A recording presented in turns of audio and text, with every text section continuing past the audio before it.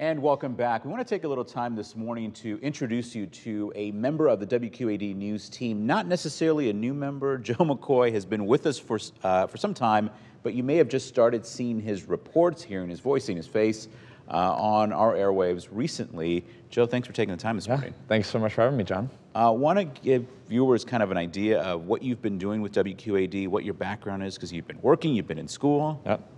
So yeah, so I uh, just graduated from Augustana in December, um, and I started interning for WQAD in the summer. Um, unfortunately, that internship was cut a bit short after three weeks when I was hit by a car. Uh, so I had a double open compound fracture on my right leg, which sent me home for the rest of the summer. I was doing a little bit of digital work from the couch. That's all I was able to do with my laptop. Um, luckily, leg is all healed now.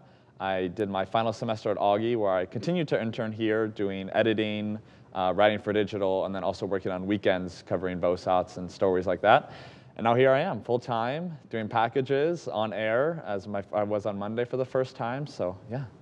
Yeah, and that story looked great. I want to get a sense of what kind of got you into this business, what your interest is, and what are you looking uh, forward to reporting on? Yeah, so uh, sports have always been my biggest thing. Ever since I was younger, I mean, my parents would tell you I'd wake up every day and I'd turn on Sports Center, and that was how I got my day started all the time. So, sports was kind of the initial, you know, kind of bringing me into the industry. Um, but then I was around freshman year, I took a class on journalism, and Dr. Schwartz at Augustana was my professor, and me and him just hit it off right away. Um, and ever since then, it was honestly a pretty quick process of I decided that journalism was going to be the route I was going to go career-wise. Um, so I also have an economics background through school, but I just knew that sitting in a in a cubicle every day crunching numbers doing economics was not going to be for me. So, you know, being able to do journalism and have sports and go out and talk to people and go out and cover stories is just, I don't know, it's something new and exciting every single day.